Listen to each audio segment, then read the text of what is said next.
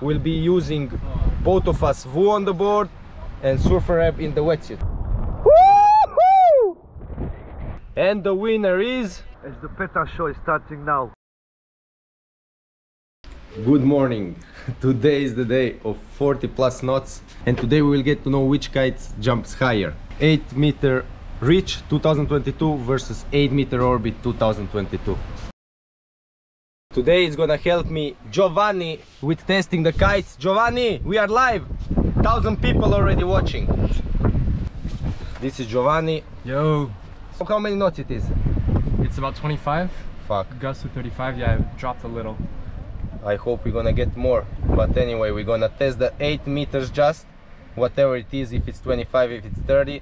Yeah, if you didn't know, I'm holding the Woo record of Naxos, it's 22 meters. Yeah, and I'm here to try to beat him. Yeah, This is why I'm here. This is why, what I'm scared of. How many years you are kiting? uh, two years. Yeah, so he's kiting- kiting 2 years, I'm kiting 15 years. That's why I'm a bit uh, in a disadvantage. I think I'm in disadvantage. It's on me the pressure. Oh, what is your weight? Uh, 75, 75. 76, 70, yeah, 76. Oh, you're lighter than I think I'm 80. Yeah, anyway, it's challenging conditions as always in Naxos. Gusty wind, choppy water, so it will be difficult to take off and it's difficult to go super high. So the plan it is we're gonna kite for one hour. We'll be using both of us Woo on the board and Surfr App in the wetsuit. Every 15 minutes we will go out, change the kites and uh, we will restart the Woo and the Surfr App. The goal it is just to do basic jumps, not having uh, back rolls, no kite loops. Just after one hour, once we finish with testing, if we still have energy, then we're gonna try to feel uh, which which kite feels better in looping. Yeah. Yeah. What do you think? Which kite will jump higher, orbit or reach? I mean, according to the kites, I think orbits. Yeah. So definitely orbit should be the winner. It's pressure on the orbit, but uh, reach feels to me really good. The 8 meter I didn't test it yet, but the 9 meter, the 12 meter, 15 meter feels light, much lighter on the bar than the previous year, and I think it can surprise. But this is why we are here today. 30, that's for sure.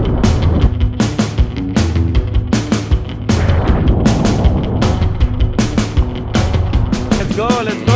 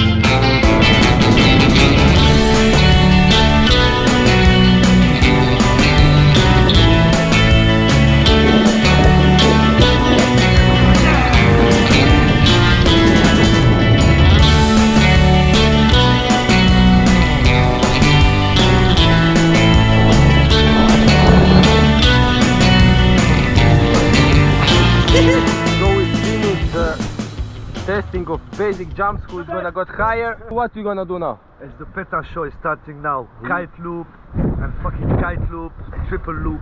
Yeah. Loop.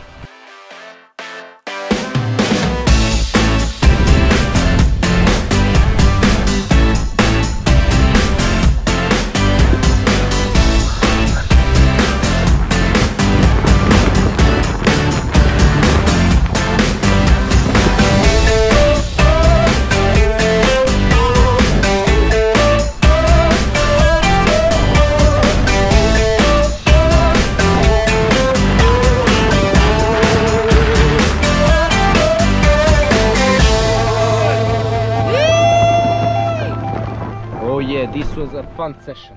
It was insane. And the winner is Ta-da-da-da-dan. Peter. Petar, not Petar. Yeah, but we didn't compete to each other. The kite's been competing to Oh. each other. Orbit Yeah. is the winner. Pop up. This is what what everybody been expecting. Yeah. Actually, I thought that uh, maybe Reach is gonna go higher, but we saw that was not really possible to go higher. Anyway, the highest jump I did by the Woo with the orbit it's 18.8 meter. Your by the Woo? Yeah, mine is 16.4. with By the Woo? orbit with the Woo. Yeah, and um, with the Surfr app, app might 15 meter with the orbit, the highest jump. Yeah, and me it's with the Reach, and it's 14 meters with Surfr. Both of the apps are trying to do their best, but I think Surfr app is the future. I like more Woo because Woo is showing higher jump, so you can show off better on the social media. Definitely. How it feels for looping to you? Which one feels better? Um, felt more comfortable with the Reach. I feel like it's turning a bit faster. So I think that on these conditions here, it's really difficult to compare with it's super gusty. So every time you get a different gust, I was expecting more pull from the reach, but yeah, again, depend of the gust. Sometimes it was more, sometimes less. The reach, I feel it more on the bar. Please let people know what they should do. If you want to jump high and uh, stay in the air, Subscribe. subscribe to Kitesurf Experience. Yeah, what else they can do? They can like, uh, they can comment, and uh, tell us what you think. Cheers. Zion.